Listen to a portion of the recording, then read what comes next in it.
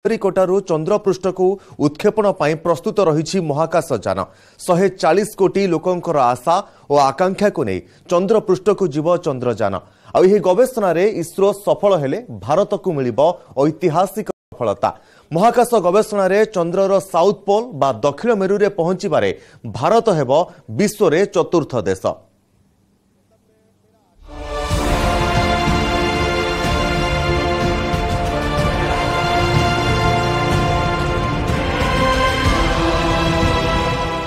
ଆନ୍ଧ୍ରପ୍ରଦେଶର ସିହୁରିକୋଟା ଉତ୍କ୍ଷେପଣ କେନ୍ଦ୍ରରେ ବେଶ୍ ଉଜ୍ଜଳ ଦେଖାଯାଉଥିବା ଏହି ସ୍ପେସ୍ କ୍ରାଫ୍ଟ ଚନ୍ଦ୍ରଯାନ ଥ୍ରୀ ଉଡ଼ାଣ ନେବା ପାଇଁ ପ୍ରସ୍ତୁତ ହୋଇ ରହିଛି। ସତୀଶ ଧୱନ ସ୍ପେସ୍ ସେଣ୍ଟରରୁ ଚଉଦ ତାରିଖ ଅପରାହ୍ନ ଦୁଇଟା ପଇଁତିରିଶ ମିନିଟ୍ରେ ଉତ୍କ୍ଷେପଣ ହେବାକୁ ଥିବା ଏହି ଚନ୍ଦ୍ରଯାନ ଶହେ ଚାଳିଶ କୋଟି ଭାରତୀୟଙ୍କ ଆଶା ଓ ବିଶ୍ୱାସକୁ ଆକାଶରେ ପହଞ୍ଚାଇ ଦେବ। କାରଣ ଏହି ଅଭିଯାନ ହଜାର ହଜାର ବର୍ଷ ଧରି ଆମର ଲୋକକଥାରେ ସବୁଠାରୁ ବଡ଼ ରହସ୍ୟ ହୋଇ ରହିଆସିଛି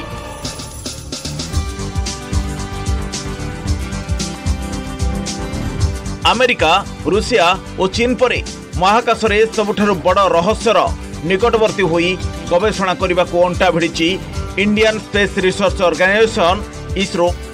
Chandrayaan ଦୁଇ ଯଦିଓ ଭାରତ ପାଇଁ ସମ୍ପୂର୍ଣ୍ଣ ସଫଳତା ଆଣିପାରିନଥିଲା କିନ୍ତୁ ଆମ ବୈଜ୍ଞାନିକମାନଙ୍କୁ ଅନେକ ଶିକ୍ଷା ଦେଇଥିଲା ଆଉ ଏ କଥା ବି ସତ ହୋଇଥିଲା। ବିଫଳତାରେ ସଫଳତାର ମନ୍ତ୍ର ଲୁଚି ରହିଥାଏ କାରଣ ଚନ୍ଦ୍ରଯାନ ଦୁଇର ଅନୁଭବକୁ ପାଥେୟ କରି ଇସ୍ରୋର ବୈଜ୍ଞାନିକମାନେ ଚନ୍ଦ୍ରଯାନ ତିନିର ଭିତ୍ତି ପକାଇଥିଲେ ଆଉ ଏବେ ଏହି ମହାନ ମିଶନ ଭାରତର ଆଶା ଓ ଆକାଂକ୍ଷାକୁ ନେଇ ଚନ୍ଦ୍ରପୃଷ୍ଠକୁ ଯିବାକୁ ପୁରା ପ୍ରସ୍ତୁତ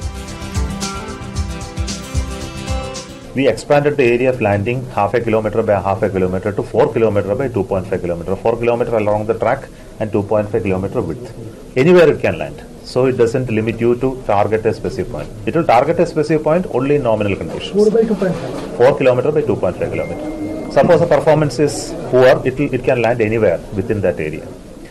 Second uh, method is that we gave more fuel so that it, has- it has more capability to travel or handle dispersions or move to an alternate landing site. So this is the second approach ଏଥରର ଏହି ଅଭିଯାନର ଟାର୍ଗେଟରେ ରହିଛି ଚନ୍ଦ୍ରର south poll ବା ଦକ୍ଷିଣ ମେରୁ। ଚନ୍ଦ୍ର ପୃଷ୍ଠର ଏହି ଦକ୍ଷିଣ ମେରୁ ସବୁବେଳେ ମହାକାଶ ବିଜ୍ଞାନୀଙ୍କୁ ବେଶୀ ଆକର୍ଷିତ କରେ। କାରଣ ଏହି ଅଞ୍ଚଳ ଅଧିକ ସମୟ ଅନ୍ଧାରରେ ରହେ ଏବଂ ଏ ଅଞ୍ଚଳ ବିଷୟରେ ମହାକାଶ ଗବେଷଣାରୁ ସେମିତି ବହୁତ କିଛି ତଥ୍ୟ ହାସଲ ହୋଇପାରିନି। ତେବେ ଭାରତର ଚନ୍ଦ୍ରଯାନ ଏକ ଓ ଚନ୍ଦ୍ରଯାନ ଦୁଇର କକ୍ଷପଥରେ ବୁଲି ଏହାର ରୋଭର ଯେଉଁ ସୂଚନା ଦେଇଥିଲା ସେଥିରୁ ଜଳକଣିକା ଥିବା ନେଇ ଏକ ପ୍ରକାର ସଂକେତ ମିଳିଥିଲା ରୋଭର ହେଉଛି ଚନ୍ଦ୍ରପୃଷ୍ଠର ଆକାଶରେ କିଛି କିଲୋମିଟର ଦୂରରେ ଏକ ଯନ୍ତ୍ର ଯାହା ପରିକ୍ରମା ପାଇଁ ତିଆରି ହୋଇଥାଏ ଏବଂ କିଛି ଦିନ ପାଇଁ ଏହା କାମ କରିବା ପରେ ନଷ୍ଟ ହୋଇଯାଏ କିନ୍ତୁ ସେହି କାମ କରିବା ସମୟରେ ସେ ପୃଥିବୀ ପୃଷ୍ଠକୁ ଚନ୍ଦ୍ର ପୃଷ୍ଠର ଫଟୋ ଏବଂ ଅନ୍ୟ ସୂଚନା ପ୍ରଦାନ କରିଥାଏ। ଚନ୍ଦ୍ରାୟନ ଥ୍ରୀର ସଫଳତା ନେଇ ଇସ୍ରୋର ବୈଜ୍ଞାନିକମାନେ ଏକ ପ୍ରକାର ନିଶ୍ଚିତ ଅଛନ୍ତି।